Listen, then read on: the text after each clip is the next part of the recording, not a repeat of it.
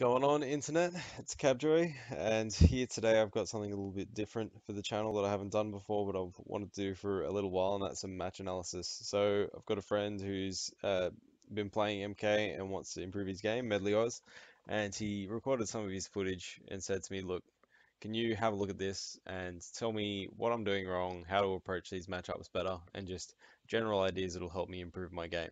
So I've got some videos that I'm going to go through all in one hit. Um, if there's anything that I say that's slightly off, or if I miss anything, feel free to let me know in the comments. So we'll get started. So the first match we're going to look at is Sorcerer Quan Chi versus Kotal Kahn War God.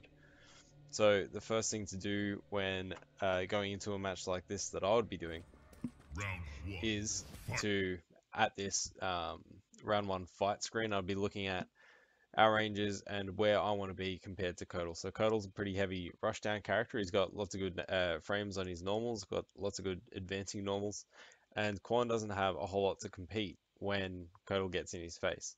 So the first thing I'd be thinking is I want to I want to back up and I want to get away from Kotal and I want to zone Kotal. It's the main thing I want to do because I know if he gets in, then it's going to be a bad time. So instead of go for things like maybe back two, which can catch people off guard, guard but is also risky. Uh, right off the get-go, I'd probably be looking to walk backwards. Walking backwards is one of my favorite ways to start the match. I think it's one of the uh, safest, most reactionary way to, ways to play. Because uh, might, for example, throw out a down four or an advancing string. So some of the advancing string could reach from the round one fight um, start of the match if you're just walking backwards, but something like down four you could see and then whiff punish with something like back two, for example. So the first thing I'd be doing is thinking, I want to back up, I want to get out of his face, so I'm either going to walk backwards and react, or I'm going to dash backwards and try and get away. So let's see what Medley does.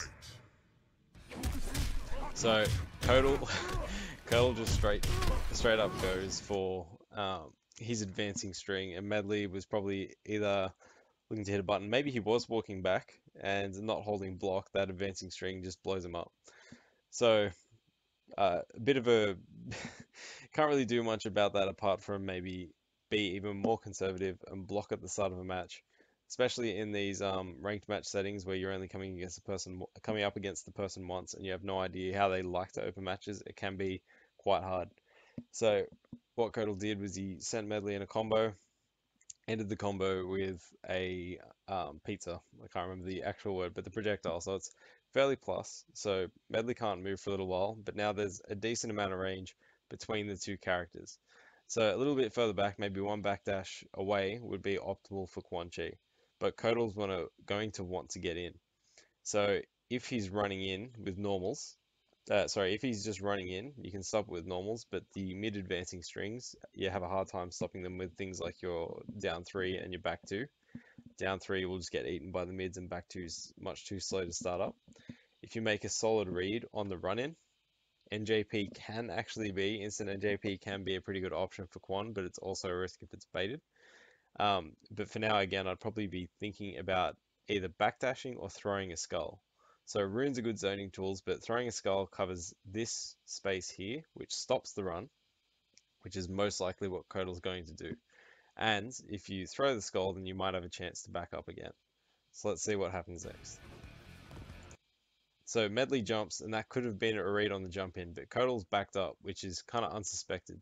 So from here, what I would be doing is throwing skulls immediately. So I like to mix up between ground skulls, runes, and air skulls and knowing which ones to use in the situation um, basically comes about with a bit more experience. So I'd be looking at mid runes because he might run in, or uh, air skull because air skull will travel again around this range. So it'll hit him if he runs in, but it will uh, miss if he just sits there. But it's not really too uh, too much of a risk because he can't get in unless he jumps and runs, and you still probably land before he does. So the opportunity I would be looking for as Sorcerer is meter burning uh, a rune to make him fly backwards, and you can summon your portal. That's the thing I would be looking for. I'd be trying to summon my portal, my armor portal as soon as possible. So we have some zoning. Um, probably not worth using the meter just for the hell of it. So that's right. Now Kotal gets a chance to run in and he's in uh, Medley's phase, which is not good. So just there, that was just a bit of a lack of um, string knowledge. So uh, Medley got hit by the 2-1-2, I think it is, which ends in an overhead, which leads to this damaging combo. Now he's in the corner against the Sun Portal, and there's not a whole lot Quan can do. So there as well, uh, Cole used his string into the totem, which gives him some slight frame advantage, so the down one was guaranteed. So the way to deal with that would be wait for the down one and then counter poke accordingly. Wait for the down one, maybe even try to jump out. It can be a risk. Uh, but at this point, uh, myself as Quan, I would be willing to sacrifice the round. So if I jump and he hits me, I die. But I'd be on the other side for the next round, which is a really good position for Quan. Because if Quan corners and gets a knockdown against someone like Kotal uh, as Sorcerer and gets the armor portal up, is it, it's very hard for Kotal to do much. So that'll be the end of that round.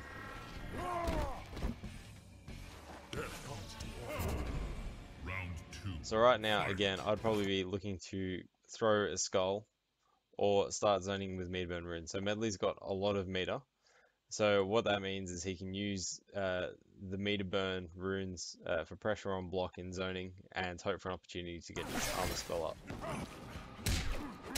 So now he's still in the corner.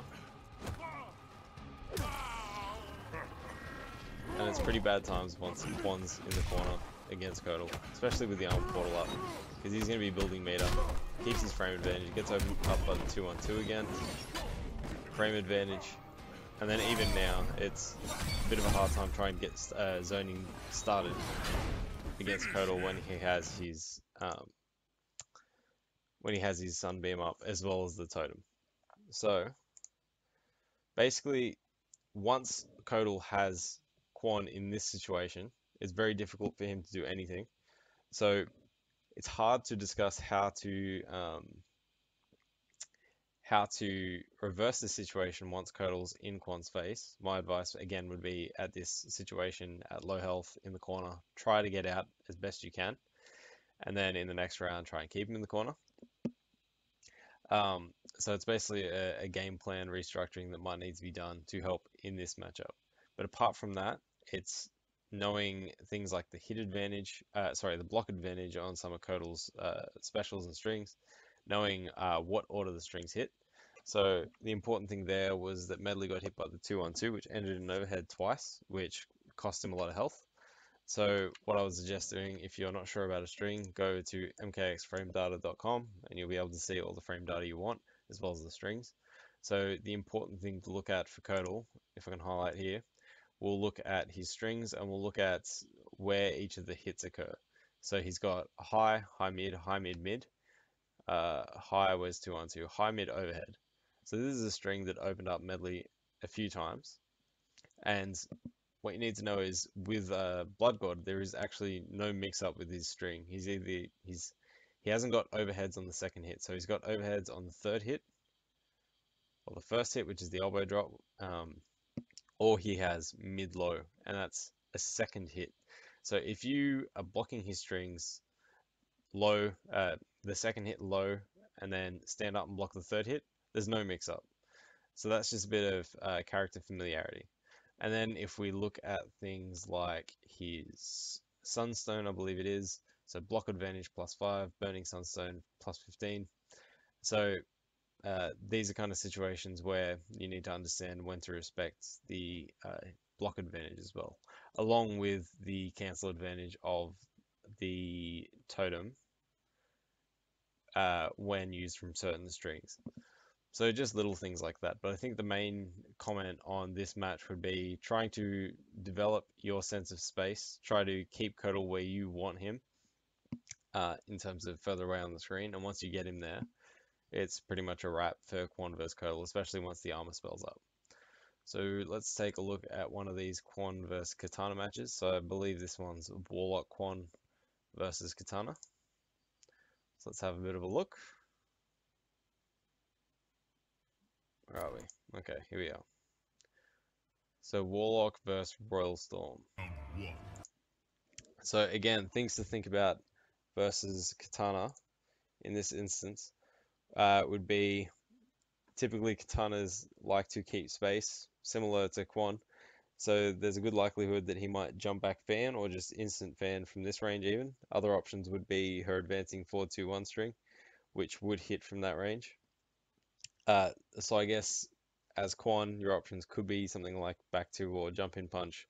But again, I prefer to do things like block or walk back or backdash just to develop a sense of space and give myself a moment to breathe and see what the opponent wants to do. So let's see what happens here. Alright, so Kitana basically just jumps in and Medley uses a stand one. I'm not sure if the stand one was in reaction to anything or if he was throwing that out. But at that range, stand one doesn't have much of a purpose. So if you see, if you suspect or you see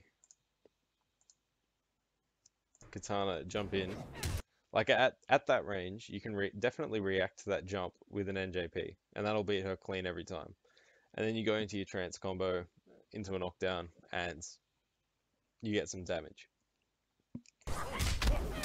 So the other key things would obviously be in this matchup.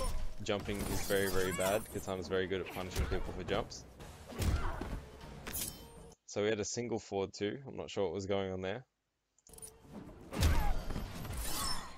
A bit of spacing with portal kick. Okay, there's something that I myself as a Quan player never ever do. Uh, my philosophy is never commit to the raw trance after back two because it's too much of a risk. You can't hit confirm it. Um, so I always, always use meter um, to make back two safe and then go from there because it's just way too much damage to eat or something that you don't need to be eating.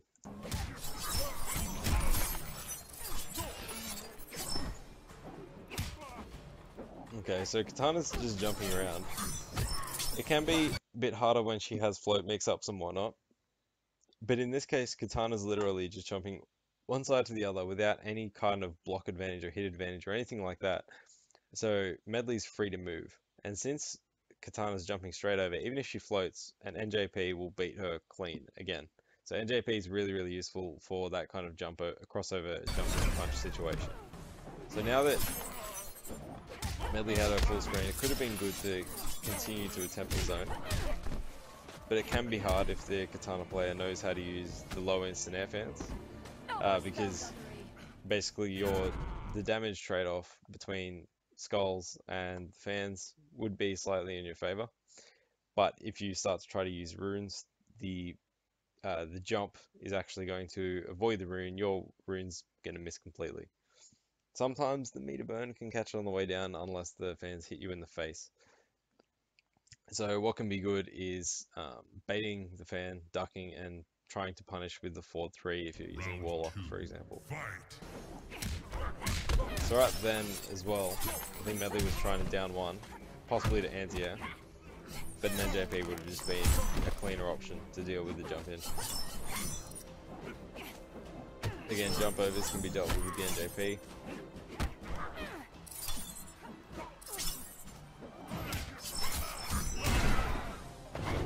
make sure not to use the 4-3 at ranges like that, because 4-3 has a lot of good recovery.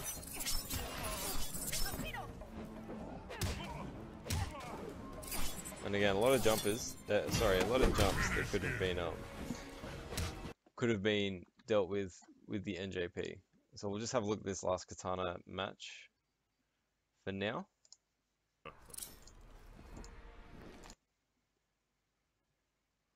So it wasn't really being caught by jumps necessarily, but it was more being caught by jump ins. So just remembering to block when you see the jump in if you don't have time to react and wait for your turn. So if Kitana tries to do anything into a fan or just a string, she's either plus two at most if she uses something like 2-1, or, or it's your turn because she tries to end in a fan, which isn't ideal. Alright, let me just stop this real quick. Give it a bit of time.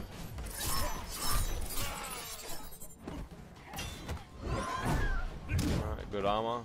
Not um, missing the special cancel into the trance. So just making sure you have those uh, links down is important. Uh, sorry, those combos down is important as well. So it's actually uh, you're actually leaving a lot of damage off the table if you're missing those uh, fairly standard combos. So That's just a matter of making sure you practice inputs, which I, which I know Medley can, uh, does. He does it offline, so I'm wondering as well if maybe there's a bit of a lag issue here.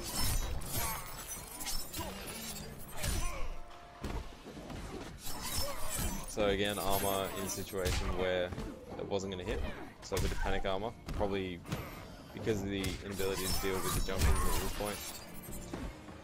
Yeah, so it's a lot of getting away with jump ins. So the thing, if you have the option, so I'll keep watching, it might come off again. If you have the option, walking backwards outside of the jump range is impor an important way to blow up ins.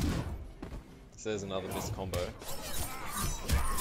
which again can completely change the situation you see. Not blocking a wake up, not sure what's going on there. Again, eating your jump in. So backdash, backdash is very good at avoiding it if you don't want to have to eat the jump in. So again, from there, like the foot's good, but conventional zen with Quan's probably a bit more effective. Okay, so just basically that match comes down to understanding how to blow up jump ins a bit better. Uh, let's see if we can find another example of when Kitana just jumps in for free. Because if you space, if you sit yourself outside of that jump in range, which is definitely possible. Yeah, here we go. So he's probably going to jump in again, yeah. So let's go back. So she jumps back. Now she's at this range and it was very likely that she was going to jump in again because she's this player's been jumping in a hell of a lot. So the 4-3 is going to whiff, but if pawn backs up in this direction, so just backs up that way a little bit, her jump in will whiff, depending on which jump in she uses. So her jump in 2, I think it is, has quite some range. But if he walks back, you can force the jump in 2 to whiff, and then you can punish it with uh, I think even back three might work, depending on the range. Back two can work, although it may be too slow. Or if not, you can at least do something like a run up throw, or a run up back three, or a run up mix up, or, or anything basically. If not, if you're not confident or if that range of that jump two is too severe, because it is quite a long range normal, then the backdash can avoid it and at least get you out of there. So there's a few options you have when dealing with these anti-airs. But we'll keep looking at it when we play, and I'll keep talking to you about it when we play. And if you have more matches, Medley, that you record in the future, definitely let me know, and we'll keep looking at them. Uh, for now, I think mainly just making sure you hit your combos when you have the opportunity, because that's one of the absolute biggest things. Just making sure you don't screw that up because you're losing damage, and not only are you losing damage, but some of the time you're giving the opponent an opportunity to get damage. So whether that means just playing more matches and trying to learn these combos more, or if you need to sit in training mode and practice, practice, practice combos over and over again, that's fine. If you're sitting, if you're set on Quan, then you can definitely, there's definitely a few, there's like three different ways to start combos that are common, which I can talk to you about. So low starter, overhead starter, uh, punish with like the 1-4 because that's the fastest often in JP. A few different options often air to air. So we can talk about those, but you just need to have a look at those and think about them and practice up your combos, and then we can talk more about spacing in the future. All right, if anyone else has any questions or comments, or if anyone else wants to uh, send in some videos that you might want me to analyze, feel free. I definitely enjoy doing this stuff, and I want to practice doing the match analysis as well. Uh, after all, along with the podcast, part of the point of doing all this stuff is to help the fellow Australian players to get better at the game and to bring up our standard. So thanks for watching for those who did, and I'll see you guys next time.